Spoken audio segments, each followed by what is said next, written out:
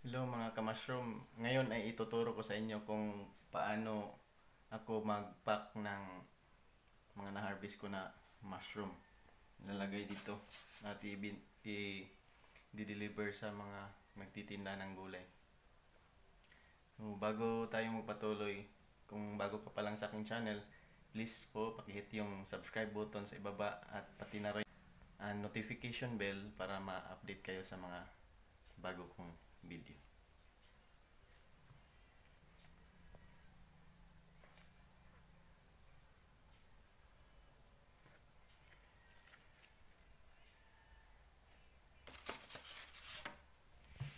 Cling wrap.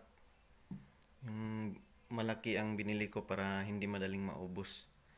At saka ito. Ito yung binili ko na styro. Ito yun. Bali sa isang pack ay 10 na po ang laman at mabibili mo ito ng 22 pesos.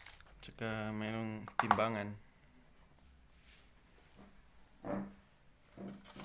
Usually ang kasya lang sa styro na to ay hanggang 150 grams to 200 grams.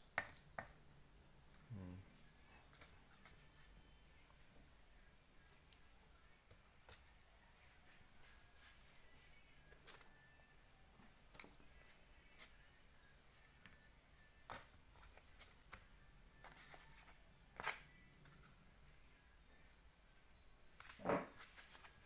Ito.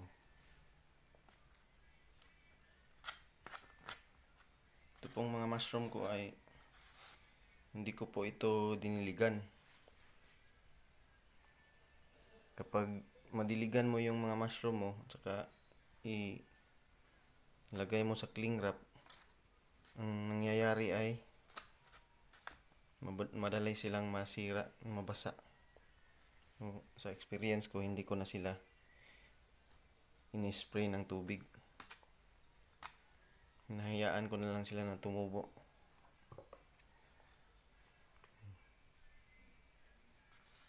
Yan, ang packing ko ay 100 hanggang 170 lang. At binibinta ko to sa nagtitinda ng gulay na 35 hanggang 40 pesos. At ibinibinta naman nila ito ng 50 pesos. So, yan. Tabi muna.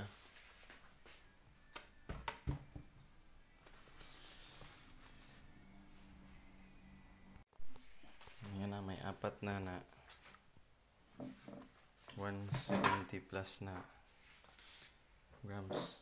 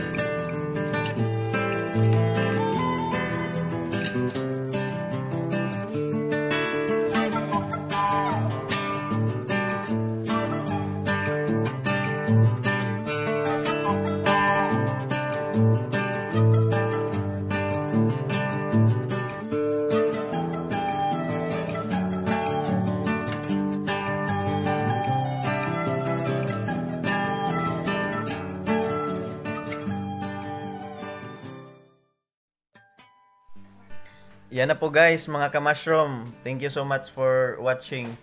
Sana po mag-subscribe kayo sa channel ko at i-hit po ninyo ang notification bell para ma-update ko kayo sa mga bago kong video.